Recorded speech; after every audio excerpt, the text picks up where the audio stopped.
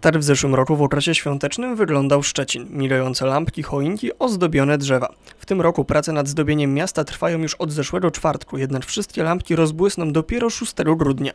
Nadający bajkowy klimat wystrój miasta jak co roku będzie nam towarzyszył przez cały okres świąteczny. Na ulicach Szczecina pojawi się w sumie ponad tysiąc ozdób.